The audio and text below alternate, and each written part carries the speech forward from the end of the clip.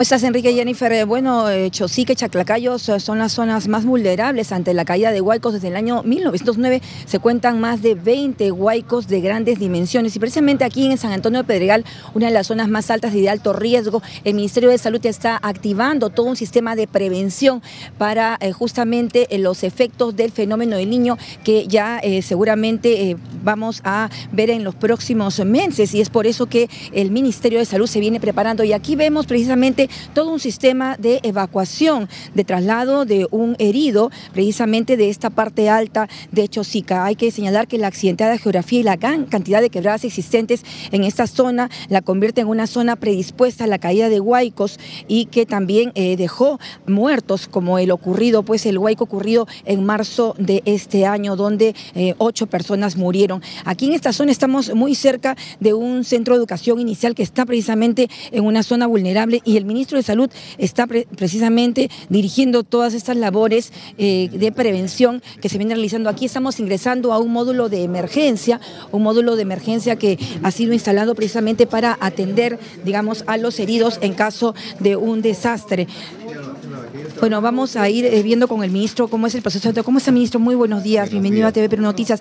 Bueno, este es un centro, un módulo de emergencia, uno de los tantos que se piensan instalar, digamos, en esta zona. Sí, en este momento estamos probando un módulo que, de atención básica, que es justo ah, colaborando con el Ministerio de, de Vivienda, que ellos tienen estos módulos y los estamos adaptando para servicios, para tenerlos de manera inmediata en cualquier lugar donde exista eh, un huaico o un accidente como eh, por el fenómeno del niño, en este momento nosotros estamos poniendo a prueba este tipo de módulos. Eh, esto se está haciendo ahora de tal forma que cuando hay algún herido se traslada acá, se le hace rápidamente una revisión. Si es que necesita atención, es inmediatamente trasladado a través de ambulancias o de vía aérea, dependiendo del lugar donde estemos. En este momento, Chosica, tenemos eh, la experiencia de que eh, siempre cuando hay fenómeno de niños afectados, y por lo tanto eh, se requiere que la comunidad, los gobiernos locales, los servicios de salud, la red de servicios y también el Ministerio de Salud pueda poder coordinar junto con otros sectores. Este es un simulacro en particular de atención de pacientes con este módulo de atención fija que se instala en un área donde cuando colapsa algún servicio de salud. ¿Cuántos módulos de este tipo se van a instalar?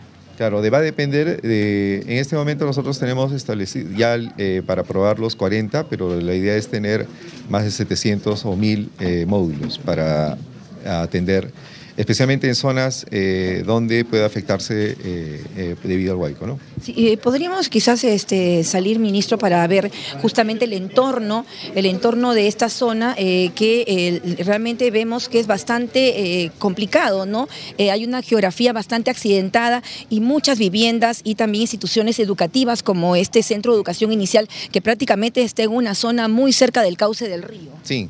Bueno, la preparación, hay una preparación que es una preparación previa con la comunidad, que es lo que estamos haciendo ahora.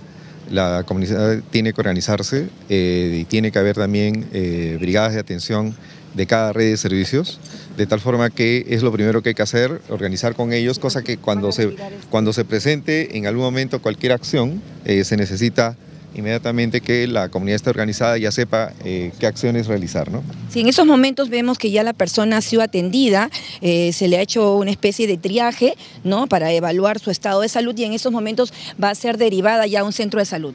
Sí, entonces eh, una vez que ocurre el accidente, ya estamos en el momento de que ocurrió ya el, el, el huaico, entonces colapsa el servicio, se atiende al paciente, se trae este módulo de atención básica, y luego se le evalúa y si se requiere mayor atención se traslada, como lo que en este momento está ocurriendo, en una ambulancia. De esta ambulancia, por ejemplo, es una ambulancia de tipo 3, que significa que tiene todo para poder inclusive salvar vidas, tiene médicos que pueden, eh, especialistas que pueden atender casos de emergencia y poder salvar vidas en la misma ambulancia. Sí, en, este simulacro también eh, no solamente hay un herido, digamos obviamente porque se trata pues de un, de un huaico de grandes proporciones, hay mucha gente que va a, a ¿cómo se llama?, a ser víctima, digamos, de estas circunstancias, existe la capacidad como para poder este, atender a todas estas personas. Exacto, entonces eh, lo que se conecta es que toda la red de servicios eh, se comienza a organizar para poder eh, atender a los pacientes de manera rápida, porque lo, que aquí cuenta es el tiempo de atención. Cuanto más pronto se atienda, se puede salvar más vidas. Aquí vemos otra persona que también está siendo ya trasladada también a este módulo. Sí. Ahora, es importante destacar también que el, cada red de servicios tenemos más de 3.500 brigadistas de Defensa Nacional en cada servicio de salud. Ellos están preparados para poder hacer rescate, eh, inclusive tienen eh, equipo para poder hacer escalamiento de tal forma que cuando ocurre este tipo de situaciones, ellos son los primeros en llegar, identifican por vivienda, comienzan a registrar si es que hay eh, algunos heridos y luego eh, comienzan a ver el, periodo de traslado, que es lo que están haciendo en ese momento el equipo de rescate. Los brigadistas están preparados para eh, acceder a zonas complicadas también, ¿no? Así es, son brigadistas que ya tiene en ese sentido el sector salud muchos años de trabajo desde, eh, en, algunos casos tenemos más de 20 años de trabajo en todo el país y eh, lo que hay una preparación continua por parte de estos equipos para poder preparar al personal de salud en casos de emergencia, tanto en atención rápida, en atención de emergencia como en eh, rescate.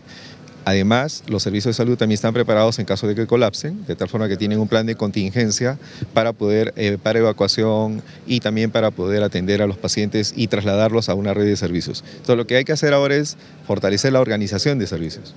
Ok, muchas gracias, ministro de Salud. Bueno, ha sido el ministro de Salud, Aníbal Velázquez, quien está supervisando estas labores de prevención que hoy día se han trasladado aquí en una zona alta y vulnerable eh, ante los riesgos de huaicos y también de eh, la proximidad de este fenómeno del niño que se pronostica de manera eh, grave. Volvemos con ustedes en Estudios Centrales.